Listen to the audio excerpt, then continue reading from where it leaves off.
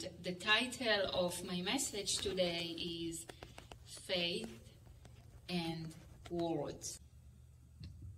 Today I want to explore some scriptures that finally explain to me what my grandma taught me many years ago.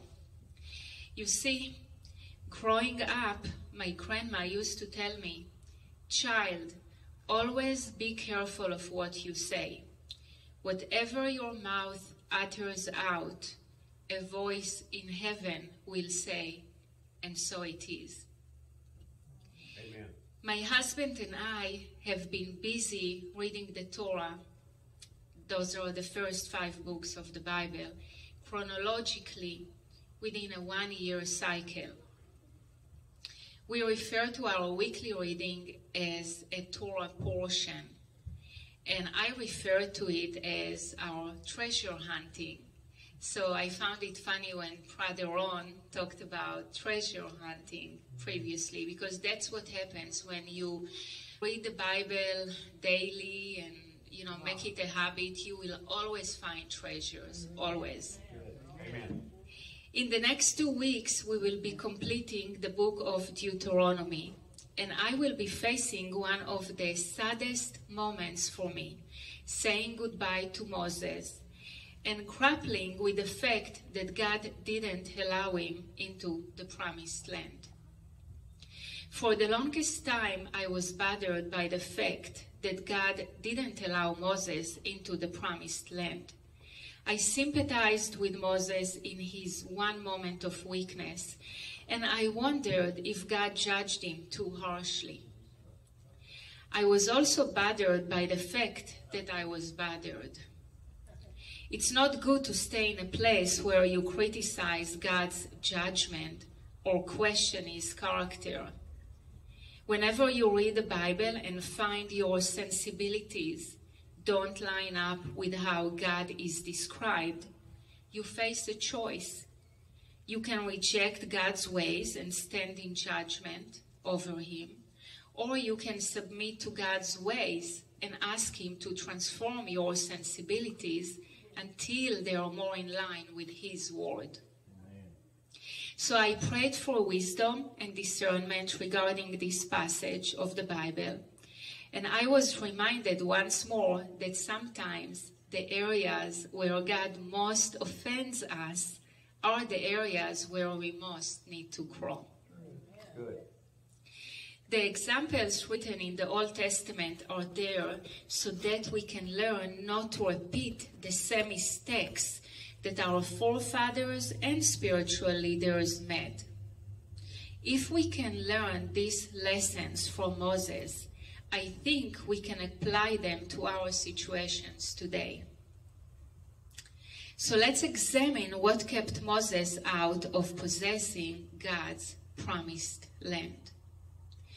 In the book of Numbers, chapter 20, Moses was facing a big problem again.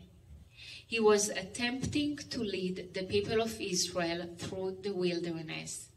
There was little to no water to drink, and the people and the animals were all very thirsty.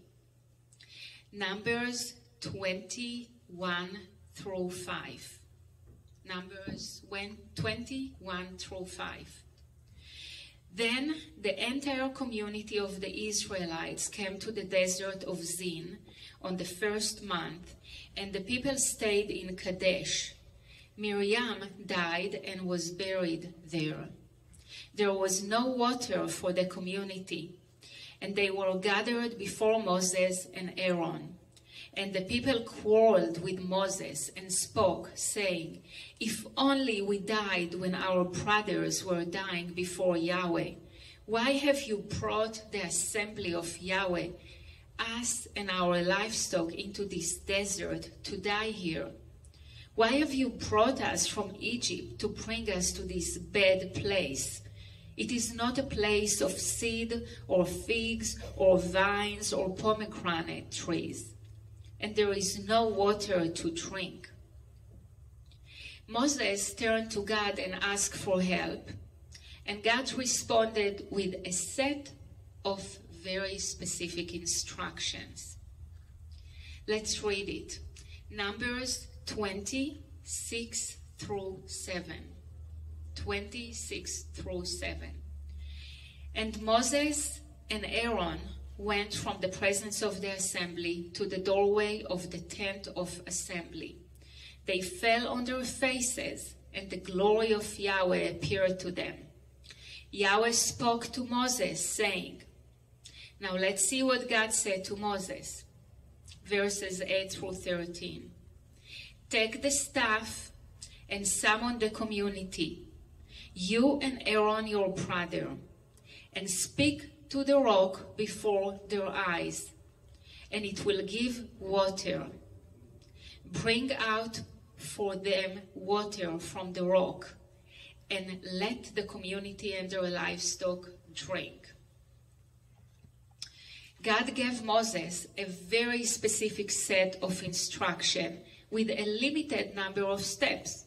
Five steps to be precise. One, take your rod. Two, get your brother Aaron. Three, gather the people before the rock. Four, speak to the rock. Five, give everyone a drink. These are not complicated steps, right? But yet, people sometimes hear what they want to hear instead of what God says to them. And that gets them into trouble in a very big way. As we read through the rest of this chapter, we find that Moses did not do what God told him to do. Five little things God told Moses to do. Five little specific steps of instructions from God. Was this complicated? No. Was this different? Yes. God had never given these instructions to Moses before. So maybe Moses had a struggle with them, or maybe Moses just assumed he knew what God had said. Maybe he heard in his mind something different. I don't know. I can't pretend to know what Mo- I can't pretend to know Moses' mind.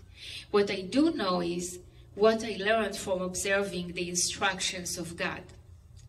God rarely repeats exactly what he told you to do before.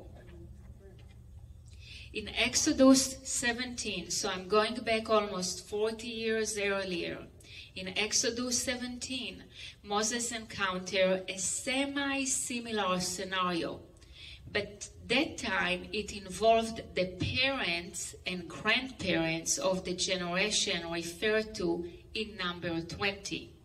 Let's read it together. So this is Exodus 17, 1 through 6. Exodus 17, 1 through 6. And all the community of the Israelites set out from the desert of Zin. Wait a moment, this is the same location. For their journeys according to the command of Yahweh, and they camped in Rephidim. And there was no water for the people to drink. And the people quarreled with Moses, and they said, Give us water so that we can drink. And Moses said to them, Why do you quarrel with me? Why do you test Yahweh? And the people thirsted for water, and the people grumbled against Moses and said, Why ever did you bring us up from Egypt to kill us and our sons and our cattle with thirst? Sounds familiar? And Moses cried out to Yahweh, saying, What will I do with these people? A little longer, and they will stone me. And Yahweh said to Moses, Go on before the people and take with you some from the elders of Israel, and the staff with which you strike the Nile, take in your hand, and go. Look, I will be standing before you there on the rock in Horeb, in Horeb, and you will strike the rock. So 40 years ago, you will strike the rock and water will come out from it and people and the people will drink if god told you to strike the rock last time, then guess what? This time you will probably be asked to do something different. Why? To God, the hidden things belong. Remember, in Deuteronomy 29 29, Moses tells us the hidden things belong to Yahweh our God, but the revealed things belong to us to know and to our children forever in order to do all the words of this law. So back to Numbers 20. God gives Moses a very specific set of instructions with a limited number of steps. As I mentioned before, one, take the, your rod. Two, get your brother Aaron. Three, gather the people before the rock. Four, speak to the rock. Five, give everyone a drink.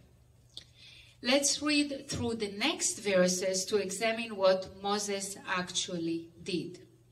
Numbers 20, 9 through 11. 29 through 11. So, Moses took the staff from before Yahweh just as he commanded him. And Moses and Aaron summoned the assembly to the presence of the rock. So far, so good. And he said to them, Listen, you rebels, can you bring can we bring out water for you from this rock? Then Moses lifted up his hand and struck the rock with his staff twice, and abundant water went out, and the community and their livestock drank. So Moses ma- makes a great start to obeying God, but a really lousy ending. Here are the steps Moses took. Moses took the rod, check. Moses met with his brother Aaron, check. Moses and Aaron gathered the people together before the rock, check. So far, so good. Then Moses then said to the people, Moses lifted his hand, Moses smote the rock, Moses smote the rock again, Moses gave everyone a drink. The first three steps seem to be perfect matches to the instructions that God gave to Moses. However, Moses omits one step from God's five step plan speak to the rock and instead adds four of his own, own steps. Okay, the four steps that he added, Moses then said to the people, Moses lifted his hand, Moses smote the rock, Moses smote the rock again. When did God ever tell Moses to say anything to the people? I'm sure he had to say something to them to assemble them before the rock. But when did God tell Moses to speak to the people after they were all gathered together? Did God tell Moses to preach to the people? Did God say to tell the people anything at all? I don't think so. And when did God tell Moses to raise his hand or strike the rock? Not once, but twice. Remember, as soon as we start deviating from God's plan, even just a tiny deviation, we begin to miss it. And next, we fall into disobedience. And that's exactly what happened to Moses. He fell into disobedience. In verse 12, we learn of God's response. So, Numbers 20, verse 12. But Yahweh said to Moses and Aaron, Because you have not trusted in me mm. to regard me as holy in the sight of the Israelites, you will not bring this assembly into the land that I have given to them. God reveals that at the core of Moses' disobedience, Moses struck the rock instead of speaking to the rock. So at the core of Moses' disobedience is lack of faith. Apparently, Moses had a problem with speaking to an inanimate object and expecting anything to transpire from merely spoken words. God was trying to teach his servant Moses a spiritual lesson, namely, that words have authority and power behind them. On a previous occasion in Exodus 17, God had told Moses to strike the rock to bring out water for the people. But this time, God changed the plan. If you did not realize it, God hardly ever does the same thing twice. According to God's instructions, this time Moses was supposed to speak to the rock before the people. So while the people were watching, the people would have learned a valuable spiritual lesson also. Words have authority and power behind them. But Moses failed, and as a result, God told him that he would not enter with the people into the promised land. But this is just the beginning of the lesson. You see, we need to also pay attention to the symbolism in this story. Who did the Bible say the rock is? Let's see. 1 Samuel 2 2. There is no one holy like Yahweh, for there is no one besides you, and there is no rock like our God. Mm. Mm. 2 Samuel 22 3. I take refuge in God, my rock, my shield, and the strength of my salvation, my stronghold and my refuge. Oh, my Savior, you will save me from violence. Mm. 2 Samuel 22 32. For who is God apart from Yahweh, and who is a rock apart from our God? Mm. Isaiah 26 4. Trust in Yahweh forever, for in Yah, Yahweh, you have an everlasting rock. Psalms 18:2 Yahweh is my rock and my fortress and my deliverer, my God, my rock mm. in whom I have taken refuge, my shield and the horn of my deliverance, my stronghold. Amen. Psalms 62 7.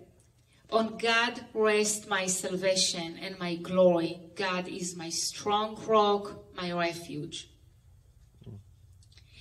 And what does living water represent in the Bible? Jeremiah 17 13. O Yahweh, the hope of Israel, all those who forsake you will be put to shame, and those who turn aside from you in the earth will be recorded, for they have forsaken the fountain of living water, Yahweh. Mm. John 4 13 through 14. Jesus answered and said to her, Everyone who drinks of this water will be thirsty again. But whoever drinks of this water, which I will give to him, will never be thirsty for eternity. Amen. But the water which I will give to him will become in him a well of water springing up to eternal life. Amen. John 7 37 through 38. Jesus stood and cried out, saying, If anyone is thirsty, let him come to me, and let him drink the one who believes in me, just as the scripture said, out of his innermost being will flow rivers of living water. Amen. Isaiah 44 3 For I will pour out water on a thirsty land and, and streams on dry ground. I will pour my spirit out on your descendants and my blessing on your offsprings. So, what was the first thing that Moses did that was not on God's instructions list of five specific steps? If you recall, the downfall came when he started talking to the people. This is a critical lesson for us to take note of. Moses had a problem. The people were thirsty, which caused them to be rebellious. God provided the answer to Moses Speak to the rock, and the people will get what they need living water. Instead of speaking to the answer, the rock, Moses spoke to the problem, the rebellious people. Mm. And everything went downhill from that point. Mm. God was trying to teach Moses a spiritual lesson concerning speaking the answer, and Moses chose to speak the problem instead. Wow, did you just hear what I said? This is a critical lesson to learn and apply to our situation today. Mm. God never said to speak to the people and speaking to the people who were the problem was not going to bring Moses the answer. Speaking to his problem and admonishing them that they are his problem would cause them to continue as they were and they would remain his problem because of his words spoken over them. Mm. The people of Israel didn't learn any lesson from this experience. God told Moses that he was not going to lead the people into the promised land because of his lack of faith. Here is what the Bible says about Moses. Deuteronomy 34, 10 through 12.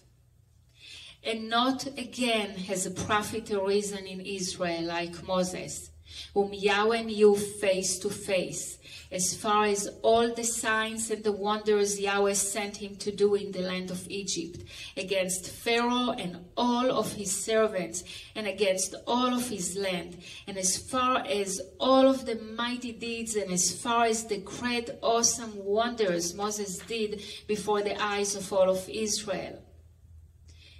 This was Moses, revered in both the Old and New Testaments, and rightly so.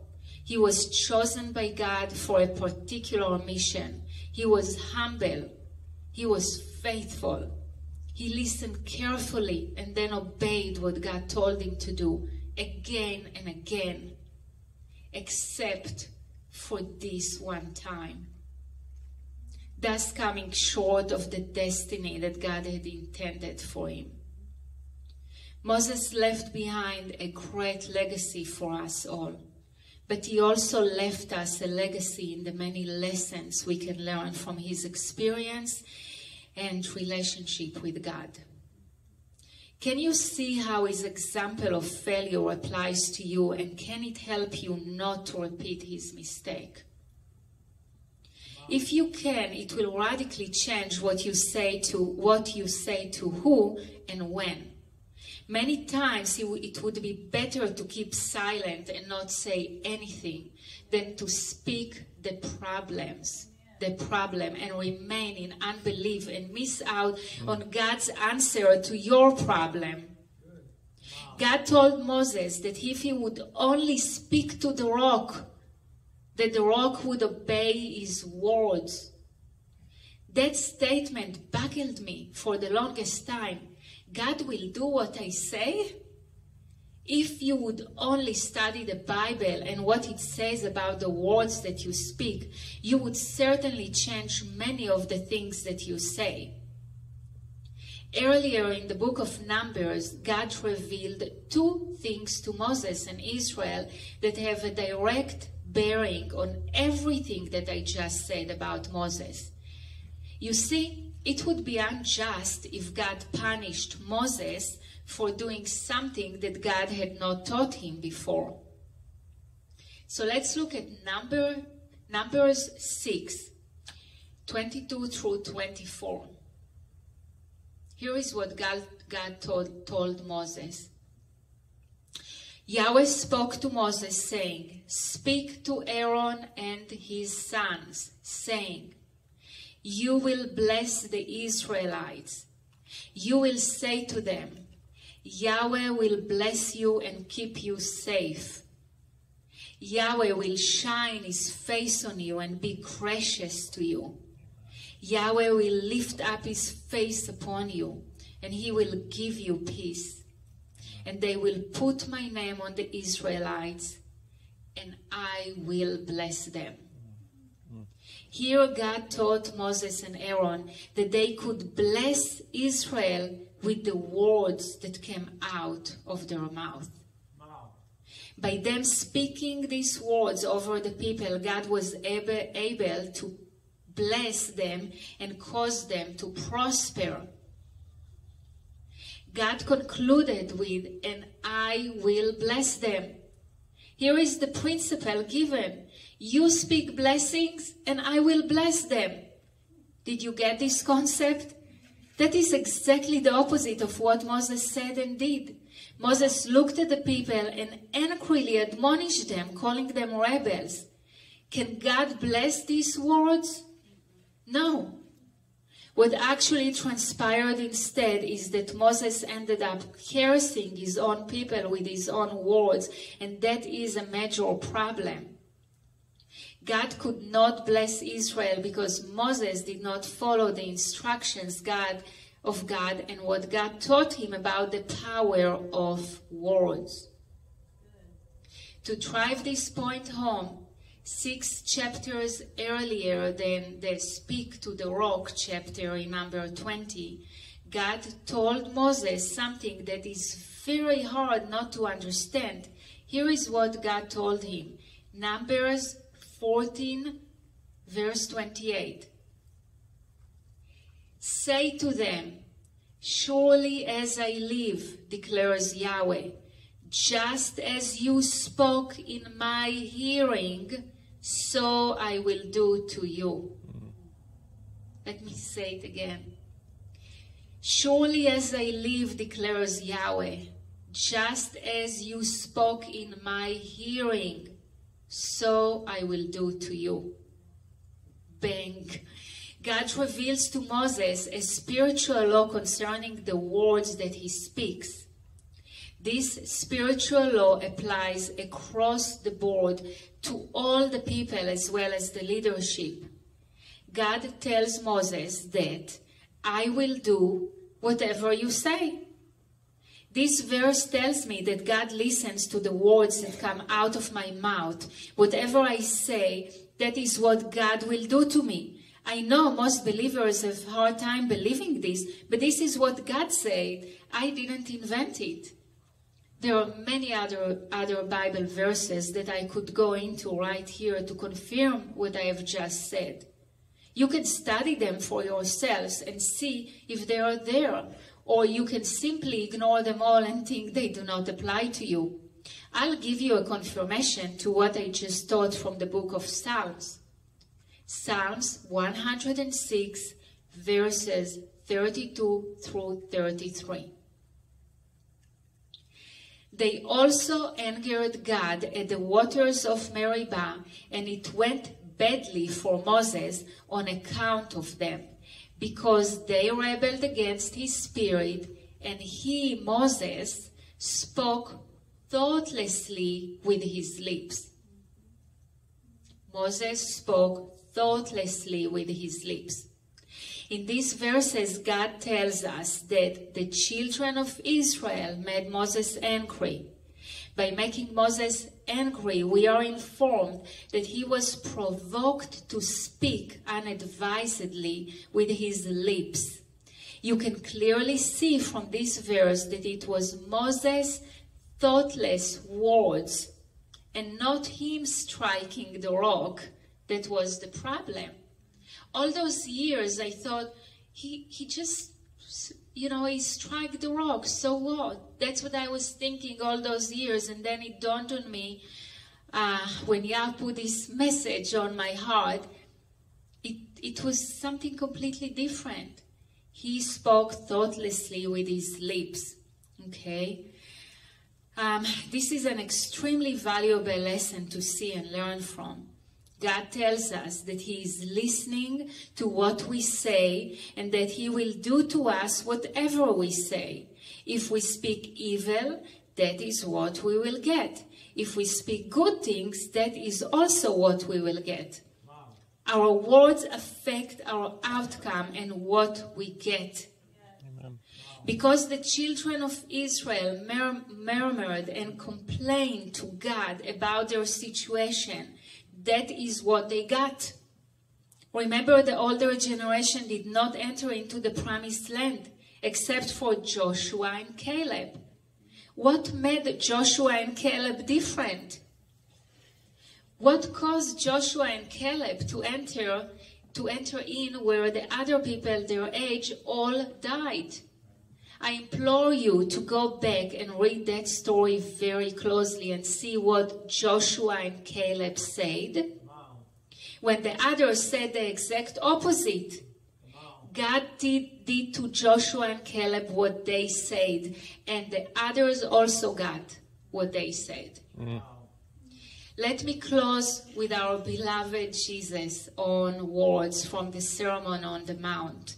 Matthew 7 7. Ask, and it will be given to you. Amen. Seek, and you will find. Knock, and it will be opened for you. And then later, Matthew 12 36 through 37. But I tell you that every wordless word that they speak, people will give an account for it on the day of judgment. Mm. For by your words you will be vindicated, and by your words you will be condemned. So now I finally understand what my grandma meant when she said, Child, always be careful of what you speak. Whatever your mouth utters out, a voice in heaven will say, and so it is. Amen.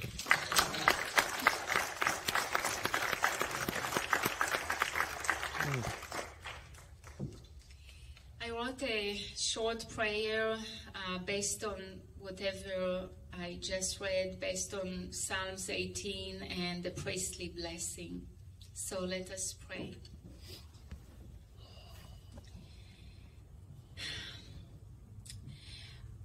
Oh Yahweh, our Father in heaven, we love you with all of our heart and with all of our soul. You are our rock, our fortress, and our refuge. You are our shield and the horn of our deliverance.